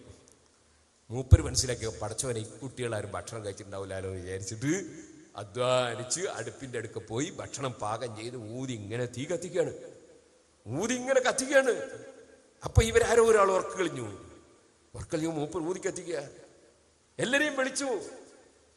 ഷെയ്ഖിന്റെ അടുക്ക ചെന്നിട്ട് ഇബ്രാഹിം രഥം തങ്ങളോട് പറയാണ് ഞങ്ങളൊക്കെ ഭക്ഷണം കഴിച്ചിട്ടുണ്ട് നിങ്ങൾ ബുദ്ധിമുട്ടണ്ട. ഇവരിങ്ങനെ ആലോചിക്കുകയാണ് നമ്മളും ഗുരുവര്യരായ ഷെയ്ഖും തമ്മിലുള്ള വ്യത്യാസം. നമ്മൾ മൂപ്പർക്ക് കൊടുക്കാതെ തിന്ന് കിടന്നവരാ അനുയായികളായ നമ്മൾ. മൂപ്പരോ മൂപ്പര് നമ്മൾ തിന്നിട്ടുണ്ടാവില്ല വിചാരിച്ചിട്ട് രാത്രി വന്നിട്ട് നമുക്ക് നമ്മൾ ഉറങ്ങുമ്പോൾ നമ്മളെ ഉറക്ക് തെളിയിക്കാതെ നമ്മളെ കൊണ്ട് പണിയെടുപ്പിക്കാതെ ഭക്ഷണം പാകം ചെയ്യുന്ന തിരക്കില്ല പലപ്പോഴും നേതാക്കളെ പ്രയാസ അനുയായികൾ അറിയില്ല അനുയായികളെ പ്രശ്നം വലിയ പ്രശ്നമായിരിക്കും. നേതാക്കളോട് നല്ല ബന്ധം കീപ്പ് ചെയ്യാൻ സാധിക്കണം. അപ്പോഴാണ് യഥാർത്ഥത്തിൽ നമുക്ക് പടച്ചവന്റെ അടുക്കൽ അംഗീകാരമുള്ള ഒരു പ്രവർത്തകനാകാൻ സാധിക്കുന്നത്. നേതാക്കളുടെ പ്രയാസം വളരെ വലുതാണ്. വളരെ വലുതാണ്. കാരണം എല്ലാവരെയും തൃപ്തിപ്പെടുത്തണം. ഇന്ന് രാവിലെ ഇന്നലെ രാത്രി ഒരു ഒരു മണി ഏകദേശമായി കിടക്കുമ്പോൾ തിരക്കുള്ളതുകൊണ്ടാണ്. രാവിലെ സുബീസ്കരിച്ചിട്ട് പുറപ്പെട്ടു കൂടെ നമ്മുടെ അടുക്കന്ന് പഠിച്ച ഒരു മുത്തലിമ് കല്യാണം ഇന്ന് ഉച്ചയ്ക്ക് നിക്കാഹ മകരിബിന് നിക്കാഹ. അവിടെ ഒന്ന് കയറി അവിടെ പോയിട്ടൊന്ന് ദ്വാരന്ന് അവനൊന്ന് തൃപ്തിപ്പെടുത്തി അവിടെ നിന്ന് ഇറങ്ങി. പിന്നെ വേറൊരു സ്നേഹിതന്റെ സഖാഫി. അദ്ദേഹത്തിന്റെ വീട്ടിൽ പോയി നിക്കാഹ് ഉച്ചയ്ക്ക്. അവിടെ ഒന്ന് കയറി അങ്ങനെ എന്നങ്ങനെയല്ല ഓ ഓടിയിട്ട് ഇവിടെ എങ്ങനെയോ എത്തി. ഉദാഹരണം പറയാണ് ഓടി ഇവിടെ എത്തി. എന്തേ നിങ്ങളെയും തൃപ്തിപ്പെടുത്തണ്ടേ? അതും കഴിഞ്ഞ് ഇനി ഇപ്പോൾ ഒരു മണിക്കൂർ നിക്കാഹ് ഇടവണ്ണപ്പാറ അവിടെ എത്തണം. അത് കഴിഞ്ഞാൽ പിന്നെ വേറൊരു പരിപാടി. ഇങ്ങനെ ഇതൊരു ഉദാഹരണം പറയാനെങ്കിൽ ഇതുപോലത്തെ ഇതിന്റെ പത്ത് നൂറരട്ടിയൊന്നല്ല സുൽത്താൻ ഉല്ലമക്കൊന്നും അപ്പൊ നമ്മൾ എന്ത് ചെയ്യണം? നേതാക്കളോട് നല്ല ബന്ധം പുലർത്തണം. അവർ സമൂഹത്തിന് വേണ്ടി അവർ വല്ലാതെ പ്രയാസപ്പെടുന്നുണ്ട് എന്ന ബോധം വേണം. എസ് എസ് എഫിന്റെ നേതാക്കൾ. അവരോ എനിക്കറിയാം ഞാൻ എസ് എസ് എഫിലൂടെ വളർന്നതാ. സുബാനത കാറുണ്ടാവില്ല. പിന്നെ പൈസയും ഉണ്ടാവില്ല. എസ് എസ് എഫ് ആകുമ്പോൾ അങ്ങനല്ലേ? ബിസിനസ് ഒന്നും തുടങ്ങിയിട്ടില്ലല്ലോ. എങ്ങനെല്ലാമോ ബസ് കയറി ഇവിടെ എല്ലാമോ എത്തിപ്പെട്ട്. ഞാൻ എസ് എസ് എഫ് പ്രവർത്തിക്കുന്ന സമയത്ത് ഒരിക്കൽ നന്ദിയിൽ ഒരു പരിപാടിക്ക് പോയി. ബസ്സിന് കയറി പോകുന്ന കാലാണ്. അവിടെ അതിന്റെ പിറ്റേ ദിവസം മദ്രാസിൽ ഒരു പരിപാടിക്ക് എത്തണം. മദ്രാസിൽ ഈ പൊള്ളാച്ചി. ഈ മദ്രാസ് സ്റ്റേറ്റിൽ തമിഴ്നാട്ടിൽ. അവിടെ വരാൻ പറഞ്ഞിട്ടുണ്ട്. ആ അവിടുന്ന് വിളിക്കാൻ വരുന്ന ആളോട് അവിടെ വരാൻ പറഞ്ഞിട്ടുണ്ട്. എനിക്ക് നേരത്തെ ഒരു കത്ത് കിട്ടിയിരുന്നു. കീലത്ത് മുഹമ്മദ് മാസ്റ്റർ പരിപാടി ഏറ്റിട്ട് വന്നിട്ടില്ല. നിങ്ങളും അങ്ങനെ ആകാൻ പാടില്ല. ഒരു എസ് എസ് എഫുകാരുടെ കഥ. അപ്പൊ ഞാൻ എസ് എസ് എഫിന്റെ നേതാവാ. ഞാൻ കൃത്യമായിട്ട് എത്തണമെന്ന് വിചാരിച്ചിട്ട് ഞാൻ എങ്ങനെല്ലാമോ എന്റെ ബാപ്പുള്ള കാലാണ് ബാപ്പാരെ പോയി കുളിപ്പിക്കുകയൊക്കെ ചെയ്ത് എങ്ങനെല്ലാമോ ഓട്ടോറിക്ഷയിലും ബസ്സിലും എല്ലാം ആയിട്ട് നന്ദി പോയി ഇറങ്ങി ബസ് ഇറങ്ങി. നോക്കുമ്പോൾ ആരെയും കാണുന്നില്ല. നമ്മുടെ സമസ്ത കേരള ജമ്യത്തിൽ പുനഃസംഘടിപ്പിക്കുന്നതിനൊക്കെ മുമ്പാ അന്ന് നന്ദിയിൽ അവിടെ തന്നെ പോയി ഇറങ്ങി നന്ദി കോളേജിലൊക്കെ ഇപ്പം കയറി ഇറങ്ങുകയൊക്കെ ചെയ്യുന്ന കാലമാണ്.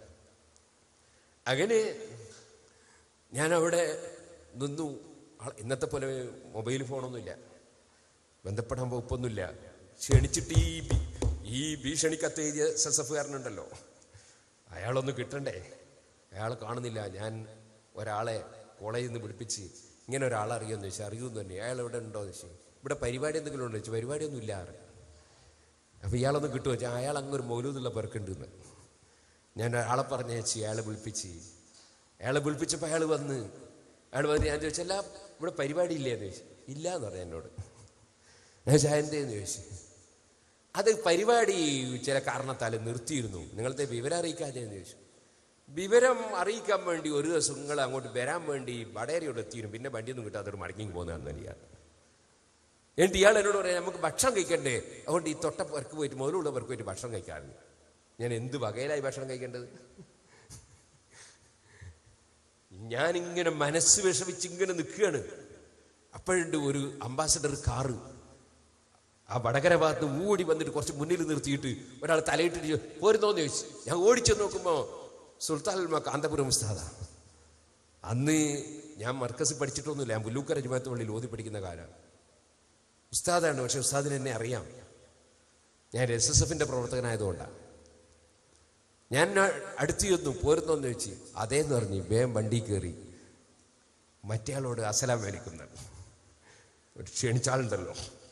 കൊയിലാണ്ടിയിലെത്തി. അവിടെ ഒരു പരിപാടി ഉണ്ട് ആ പരിപാടിയിൽ ഉസ്താദിനോട് പ്രസംഗിക്കാൻ പറഞ്ഞു. ഞാൻ പ്രസംഗിച്ചു. അതിൽ ചില തെറ്റുണ്ടായിന് ആ തെറ്റ് ഉസ്താദ് എനിക്ക് പറഞ്ഞു തന്നു. തങ്ങളെ പുറക്ക് പോയി. നല്ല ഭക്ഷണവും കിട്ടി. ഞാൻ പറഞ്ഞു വന്ന് അങ്ങനെ തന്നെ ഉസ്താദിന്റെ പുറക്ക് പോയി. ഉസ്താദിന്റെ പുറക്ക് കിടന്നുറങ്ങി. അന്നൊരു ചെറിയ ഒരു ഓട് വെച്ച പുരയാ ഉസ്താദിന്റെ ആ വീട്ടിൽ പോയി ഉറങ്ങി. പിറ്റേന്ന് രാവിലെ പൊള്ളാച്ചി എത്തേണ്ട ബേജാറാണ്. അതിനു വേണ്ടി വന്ന ആൾ നന്ദിയിൽ വന്നിട്ട് പരിപാടി ഇല്ലാത്തതുകൊണ്ട് മടങ്ങിപ്പോയി. അയാളെ തെരഞ്ഞു പിടിച്ച് സുബഹാനല്ല പൊള്ളാച്ചി രാത്രി പത്ത് മണിക്ക് എത്തി എസ് എസ് എഫിന്റെ പ്രവർത്തകർ വല്ലാതെ ബുദ്ധിമുട്ടിയിട്ട് അതിന്റെ നേതാക്കളും പ്രവർത്തിക്കുക. അതിനെ പസ്- പറ്റി നല്ല ബോധം വേണം. ചിലപ്പോ നമ്മളെ കല്യാണത്തിന് എത്തിയില്ലെങ്കിൽ അല്ലെ നമ്മുടെ വീട്ടിൽ സുബാനല്ല അമ്മോച്ചം മരിച്ചിട്ട് വന്നില്ലെങ്കിൽ രാജിവെക്കുന്ന കൂട്ടത്തിലൊന്നും പെട്ടുപോകരുത്. മറിച്ച് നേതാക്കളുമായി നല്ല ബന്ധം പുലർത്തണം. അവരുടെ പ്രയാസങ്ങളെ സംബന്ധിച്ച് നമുക്ക് ബോധം വേണം. ഉമ്മബാപ്പയുടെ പ്രയാസങ്ങളിൽ സംബന്ധിച്ച് ബോധമുള്ളതുപോലെ നമുക്ക് നേതാക്കളുടെ പ്രയാസങ്ങളെ സംബന്ധിച്ചും നല്ല ബോധം വേണം. ഞാൻ എന്റെ വാക്കുകൾ ചുരുക്കുകയാണ്. നമുക്ക് മഹാരിമുകൾ നമ്മുടെ ജ്യേഷ്ഠാനുജന്മാർ അനുജന്മാരോട് നല്ല സ്നേഹം കാണിക്കണം കാരുണ്യം കാണിക്കണം. ജ്യേഷ്ഠന്മാരോട് നല്ല ബഹുമാനം കാണിക്കണം ബാപ്പയോടുള്ള ബഹുമാനം ജ്യേഷ്ഠന്മാരോട് കാണിക്കണം. അബീഖ് ബാപ്പയോടുള്ള അതേ ബഹുമാനം ഉമ്മ ബാപ്പമാരുടെ ജ്യേഷ്ഠാനുജന്മാരോട് സഹോദരി സഹോദരന്മാരോട്. ബാപ്പയുടെ പെങ്ങൾ ഉമ്മയുടെ ആങ്ങള. ബാപ്പയുടെ ജ്യേഷ്ഠൻ അനുജൻ ഉമ്മയുടെ അനുജത്തി ജ്യേഷ്ഠത്തി എല്ലാവരോടും നല്ല ബന്ധം സ്ഥാപിക്കണം. ആദരവിന്റെ ബന്ധം സ്നേഹത്തിന്റെ ബന്ധം. അതേസമയം അന്യർ അന്യരുമായുള്ള ബന്ധം അത് ആ ബന്ധം തന്നെയാകണം. നമ്മളെ കൂടെ പഠിക്കുന്ന പെൺകുട്ടികൾ ഉണ്ടാവും നമ്മളെ കൂടെ കോളേജിൽ പഠിക്കുന്ന പെൺകുട്ടികൾ ഉണ്ടാവും അവരുമായി നമ്മൾ അകലം പാലിക്കണം. അകലം പാലിക്കാതിരുന്നാൽ ഞാനിപ്പോ വരുമ്പോ നമ്മുടെ ഡ്രൈവർ അബ്ദുറഹ്മാനാജി ആണ് പത്ത് രൂപ കൊല്ലമായി എന്റെ കൂടെ ക്ഷമിച്ച് നിൽക്കുന്നു. അദ്ദേഹം എങ്ങനെയെല്ലാമോ പത്ത് മണിക്ക് ഇവിടെ ഓടിപ്പിടിക്കണം എന്നുള്ള നിലയ്ക്ക് ഓടി വരുമ്പോൾ ഒരു വലിയ ഒരു ട്രക്കർ എന്റെ ബാക്കിൽ എഴുതി വെച്ചിട്ടുണ്ട് ഡിസ്റ്റൻസ് പാലിക്കണം എന്ന് എഴുതി വെച്ചിട്ടുണ്ട് കാരണം അധികം അടുത്താൽ അപകടം വരും. അപ്പോ അകലം പാലിക്കേണ്ടവരുമായി അകലം പാലിക്കണം. അപകടം വരുത്തരുത്. നമ്മുടെ കൂടെ പഠിക്കുന്ന പെൺകുട്ടികളാണെന്ന് മനസ്സിലാക്കി. സുബഹാനല്ല ഇപ്പൊ ഒരു വലിയ മുസീബത്തുണ്ട്. ബോയ് ഫ്രണ്ട് എന്ന് പറഞ്ഞൊരു സംഗതി. ഗേൾ ഫ്രണ്ട് എന്ന് പറഞ്ഞൊരു സംഗതി. അങ്ങനെ ഒരു ഫ്രണ്ടും വേണ്ട ഒരു സാധനവും വേണ്ട. മറിച്ച് അത് അപകടത്തിൽ കൊണ്ടുപോയി എത്തിക്കും. നിങ്ങൾ ഈ അക്കൗണ്ട് സെക്ഷൻ കൈകാര്യം ചെയ്യുന്ന ആളുകളുമായി ബന്ധപ്പെട്ടിട്ടുണ്ടോ? വലിയ നിയമമാണ് അക്കൗണ്ട് ആയി ബന്ധപ്പെട്ട്. നിങ്ങളൊരു സി എക്കാരനെ കണ്ടു ചോദിച്ചാൽ അയാൾ പറയും.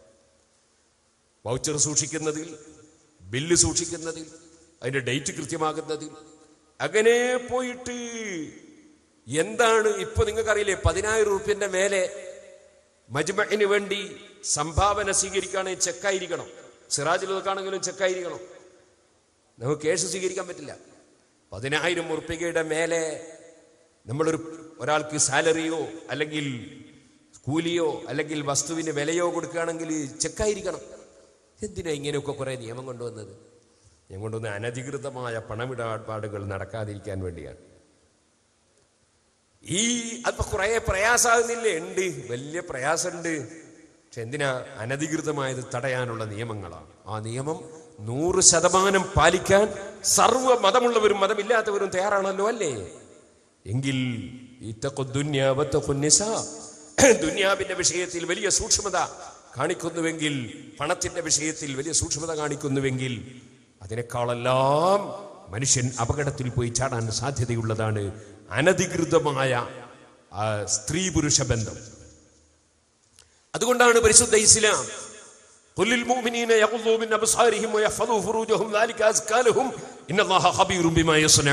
വലിയ ഗൗരവമുള്ള വാക്കാ. പുരുഷന്മാര് സ്ത്രീകളിലേക്ക് നോക്കല്ലേ? അവർ കണ്ണടച്ചോളണം കണ്ണ് താഴ്ത്തിക്കോളണം എന്ന് പറഞ്ഞിട്ട് അതാണ് നിങ്ങൾക്ക് പരിശുദ്ധിക്ക് നല്ലത്. എന്ന് പറഞ്ഞിട്ടും അല്ല നിർത്തിയില്ല. നിങ്ങൾ പ്രവർത്തിക്കുന്നത് മുഴുവനും അള്ളാഹു നന്നായി അറിയുന്നവനാണ് എന്നൊരു ഭീഷണിയും കൂടി ഉണ്ട് അവിടെ. കാരണം പടച്ചവൻ അറിയില്ല എന്ന് വിചാരിക്കണ്ട. ചിലപ്പോൾ ബാപ്പ അറിയില്ല ഉമ്മ അറിയില്ല സ്വന്തം ഭാര്യ അറിയില്ല പെങ്ങൾ അറിയില്ല അതുപോലെ കൂട്ടാളികൾ അറിയില്ല ടീച്ചർ അറിയില്ല നേതാവ് അറിയില്ല അനുയായി അറിയില്ല. അള്ളാഹു നിങ്ങൾ പ്രവർത്തിക്കുന്ന അറിയുന്നവനാണ്. അത് നന്നായി ഓർമ്മിക്കണം ആ താക്കീത്. ഒരിക്കലും അന്യ സ്ത്രീകളുടെ മുഖത്ത് നോക്കി രസിക്കുന്നവരായിക്കൂടാ. ഒരു അന്യ സ്ത്രീയുമായി സ്പർശനം നടന്നുകൂടാ. നബി സല്ലാഹു അലൈഹി വസ്ലം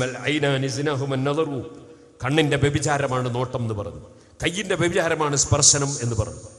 നമ്മൾ വളരെ ശ്രദ്ധിച്ച് ജീവിക്കണം. എന്നാലേ നമ്മൾ അള്ളാഹുവിന്റെ അടിമകളായി അള്ളാഹുവിനോട് ബന്ധം പുലർത്തുന്നവരായി ജീവിക്കാൻ കഴിയും.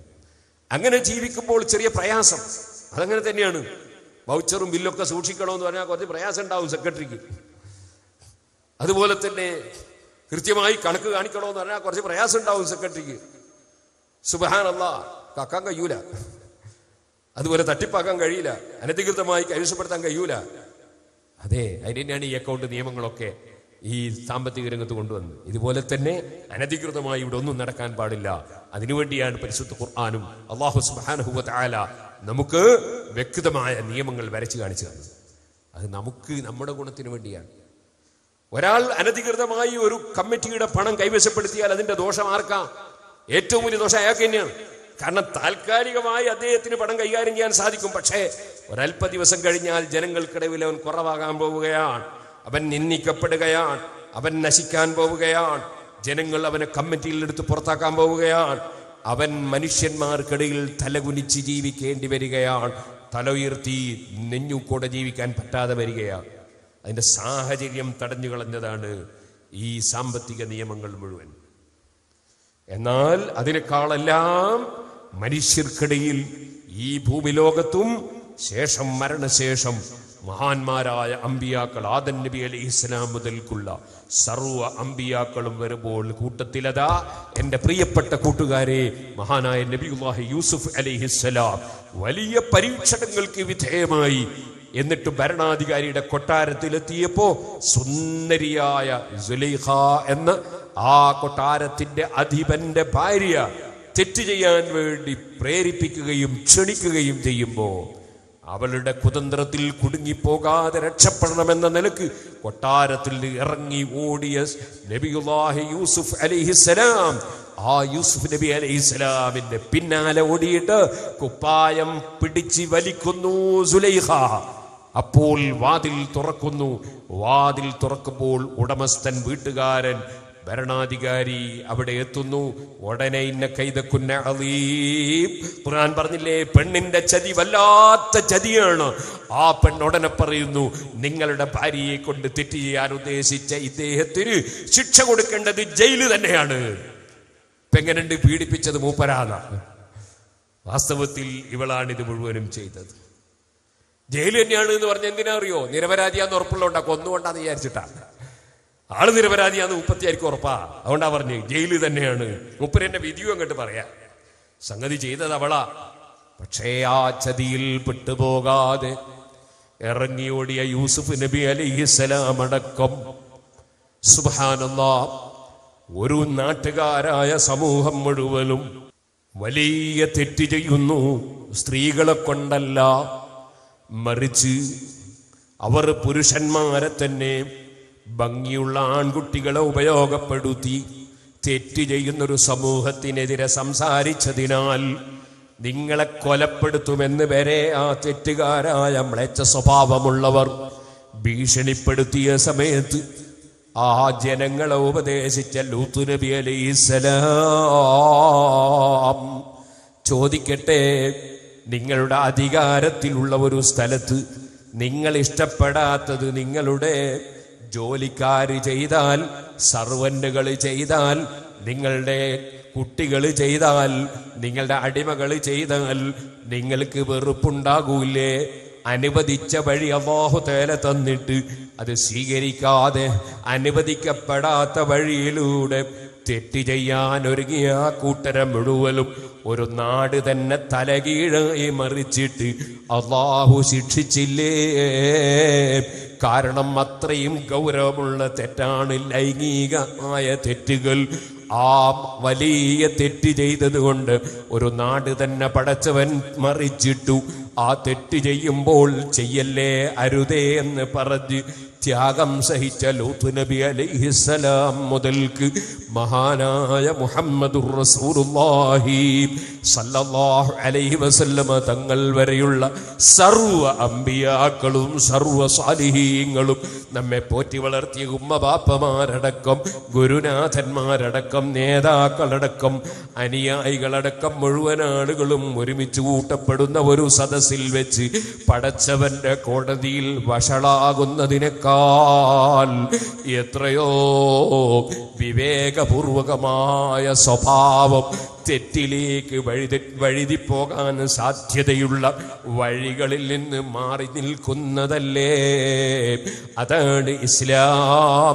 ഒരന്യ പെണ്ണിലേക്ക് നോക്കണ്ട സ്പർശിക്കണ്ട അവളെ പുഞ്ചിരി കാണണ്ട അവളുമായി ചാറ്റ് ചെയ്യണ്ട അവളുമായി നിങ്ങൾ സംസാരത്തിന് നിൽക്കണ്ട. നിങ്ങൾ അതാ എത്രയോ കാലം നരകത്തിൽ തീക്കുണ്ടാരത്തിൽ വീഴുന്നതിന്റെ പുറമെ നിങ്ങളെ സർവ അഭിമാനവും നിങ്ങൾ ആദരിക്കുന്നവരുടെ മുമ്പിൽ നഷ്ടപ്പെടുന്ന വളരെ മ്ലേച്ഛമായ സബീലാ.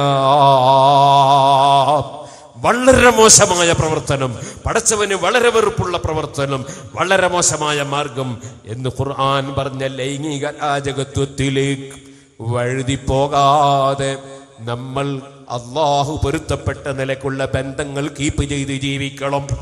സ്വന്തം ജ്യേഷ്ഠന്റെ ഭാര്യയെയും സ്കൂട്ടറിന്റെ പിന്നിൽ വെച്ച് പോകുന്നവരാകരുത്. സ്വന്തം ഭാര്യയുടെ അനുജത്തിയെയും മോട്ടോർ സൈക്കിളിന്റെ ബാക്കിൽ വെച്ച് പോകുന്നവരാകരുത്. നമുക്ക് കാണാനും തൊടാനും പറ്റാത്ത സ്വന്തം ബാപ്പയുടെ പെങ്ങളുടെ മകളെയും സ്വന്തം ഉമ്മയുടെ അനുജത്തിയുടെ മകളെയും നമ്മളെ സ്കൂട്ടറിന്റെ പിന്നിൽ വെച്ച് പോകാൻ പാടില്ല. അവരൊന്നും നമുക്ക് കാണാനും തൊടാനും പറ്റുന്നവരല്ല. ഇസ്ലാമിന്റെ നിയമം കീപ്പ് ചെയ്ത് ജീവിക്കണം. നിങ്ങൾ ഇപ്പോൾ മജ്മയിലേക്ക് വന്നത് നിങ്ങൾ എസ് എസ് എഫിൽ പ്രവർത്തിക്കുന്നത് എസ് എസ് എഫുമായി ബന്ധപ്പെട്ടത് നിങ്ങൾക്ക് ബിസിനസ്സിൽ പുരോഗതി കിട്ടാനല്ല നിങ്ങൾക്ക് ജോലി കിട്ടാനല്ല. നിങ്ങൾ ഈ ബന്ധം പുലർത്തുന്നത് മരിക്കുന്ന സമയത്ത് ഈമാനോടെ മരിച്ച് നിങ്ങൾക്ക് ഖബറിൽ സന്തോഷത്തോടെ കഴിയാനാണ്. നിങ്ങൾക്ക് പടച്ചവന്റെ കോടതിയിൽ വഷളാകാതിരിക്കാനാണ് സ്വർഗത്തിന്റെ ഉദ്ഘാടനത്തിന് നബി സല്ലല്ലാഹു അലൈഹി വസല്ലം തങ്ങൾ വരുമ്പോൾ സ്വർഗത്തിന്റെ വട്ടക്കണ്ണി പിടിച്ച് കുലുക്കി ഉദ്ഘാടനം ചെയ്യുന്നവൻ ഞാനാണ് എന്ന് അവിടുന്ന് പറഞ്ഞിട്ടുണ്ട്. ആ ഉദ്ഘാടനത്തിൽ പങ്കെടുക്കാനാണ് ആ നബിതങ്ങളുടെ മുഖം കാണാനാണ് ആ നബിതങ്ങളോട് ഒരുമിച്ച് കൂടാനാണ്. അതിന് കീപ്പ് ചെയ്യേണ്ടതെല്ലാം കീപ്പ് ചെയ്യണം.